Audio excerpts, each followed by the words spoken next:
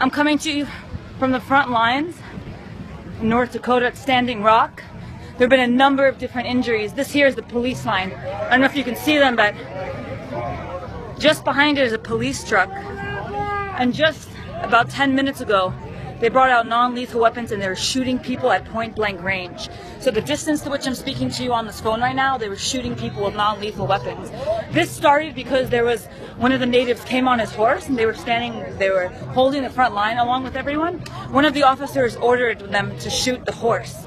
So a number of natives lined up against the horse to protect it, and then they started shooting non like non-lethal weapons directly into the crowd, non-lethal bullets at people five feet away. And as you can see, they're moving in. This is them right here. They're moving the line. On that end are plain clothes. We don't know where they're from. People here assume they're from the pipeline. These are the people constructing the pipeline. Everyone here is saying that. I'm just going to take you over here really fast. I don't know if you can still see it. See, I don't know, can you see that? That's the military truck. I think there's like probably 20 of these surrounding this entire area.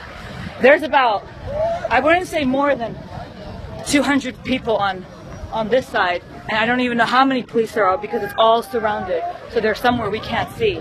But look, they're moving in. Really quick, I'll show you them moving in.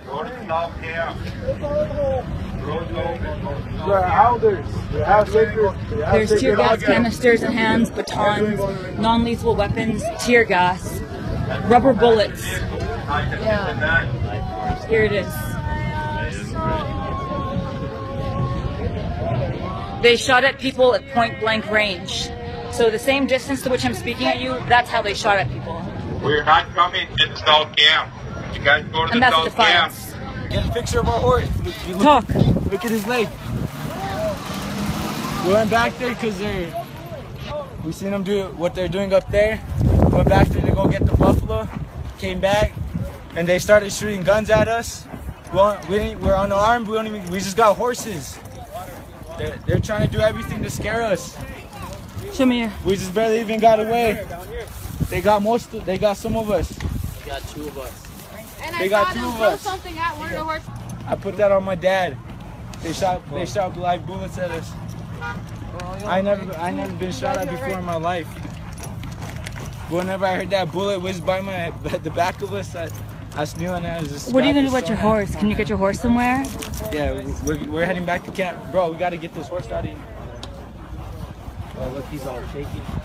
Yeah, they're doing they're doing all shit to us, all kinds of shit. But we gotta go. We gotta get take care of these horses.